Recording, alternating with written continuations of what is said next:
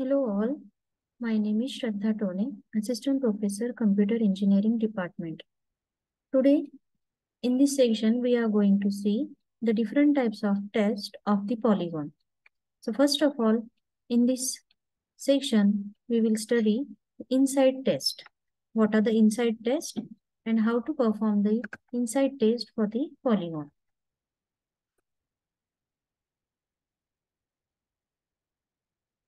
So first of all, during the polygon filling, only those pixels should be filled which are inside the polygon. So deciding membership of the pixel is very important in polygon filling. So accurate detection of whether the point is inside or outside the polygon is crucial. So we will discuss here two methods to decide if a pixel is inside the polygon or not. So most of the polygon filling algorithm start filling polygon from one interior points of the polygon. So it is become necessary to determine the points that lie inside the polygon or outside the polygon. So here two methods are given which is called it as even odd method or winding number method. First of all, we will see even odd methods. So in this method, is used to identify whether the point lie inside or outside the polygon. Suppose we have polygon ABCD, which is shown in the figure. So here, now we have to check whether the point P is lie inside or outside the polygon. So we take any point Q, which will outside or surely lie outside the polygon. Next, to determine Q, the coordinates of polygon is known to us. So Q is having x coordinate smaller than smallest x coordinate of the polygon. And we take the y coordinates the same as the y value of point in questions that is P. So then draw the line between these two points.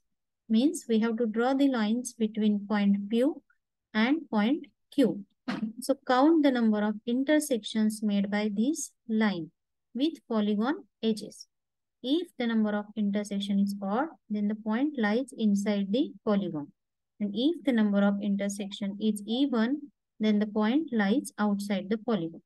Here in this figure, we can show that P is inside the point of the polygon and Q is outside the polygon.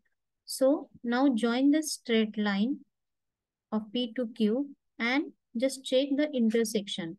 So here line PQ intersect only A and D line of the polygon. Means here the count is 1. As 1 is odd, so then we can say that point P is inside the polygon. So this is the case if the polygon is a simple square. But if line crosses the edges of the or vertices of the polygon instead of edges, then how to check the other point is like inside or outside. So that is shown, this case is shown in this figure. The even odd test fails when the point of intersection is a vertex. So in this figure, we can show that it is a A is the vertex where point P and Q, the line is passes. So this is handled by making few modifications.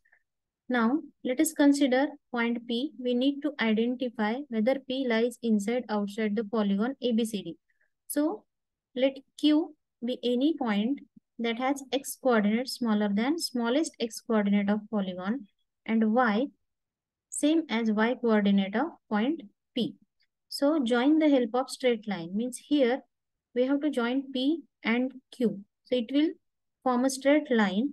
So it is now we have to observe that the line crosses the vertex A here and check the other points. It lies on the opposite side of the drawn line.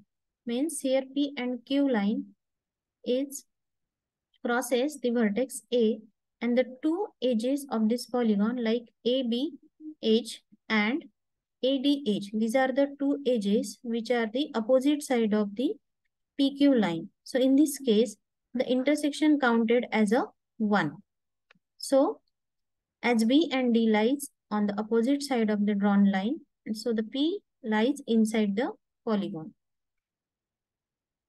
Next case is, this is the case number 2. You have to identify whether point P lies inside or outside the polygon.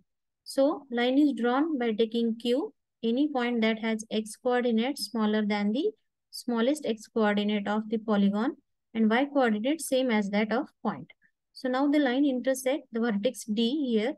The other endpoints of the line joining the vertex D that is C and E that is lies on the same side of the polygon.